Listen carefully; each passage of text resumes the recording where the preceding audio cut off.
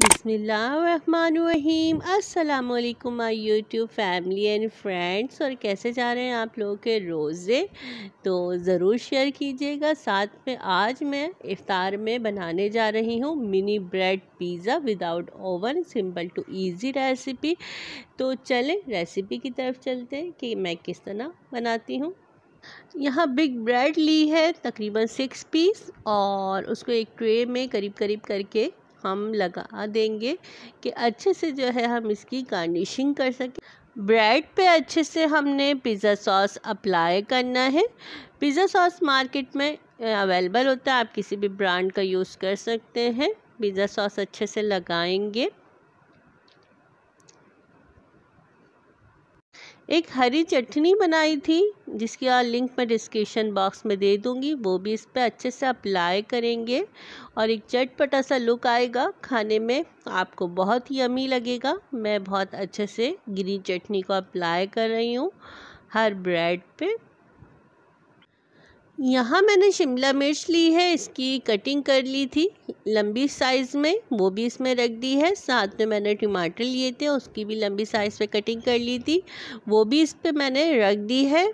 इसके बाद हमने चिकन की कुछ पीस इसमें, जो टिक्का मसाला में हमने बहुत अच्छे से फ्राई किए थे, वो इस पर हमने रख दिए हैं।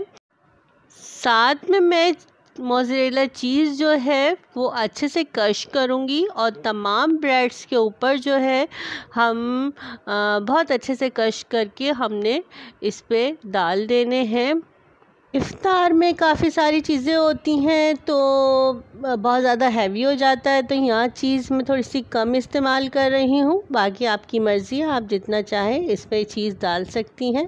तो हमारी जो ट्रे है बिल्कुल रेडी है तो चले इसे बेक करते हैं। तो मैं यहाँ पतीली में बेक कर रही हूँ। मैंने जस्ट एक पतीली ली है और इस पर स्टैंड रखा है। स्टैंड पे मैंने ब्रेड रखी है और ब्रेड के ऊपर जो है मैंने इसको बहुत अच्छे से कवर किया है। कवर करने के बाद जो है मैंने इसका सुराग भी जो है सारे सुराग बिल्कुल बंद कर दिए हैं और तकरीबन मैंने सिर्फ़ और सिर्फ़ सेवन सेकंड मैंने इसको इसके अंदर रखा है हाई फ्लेम में और ज़बरदस्त हमारा mini bread pizza without oven recipe ready है।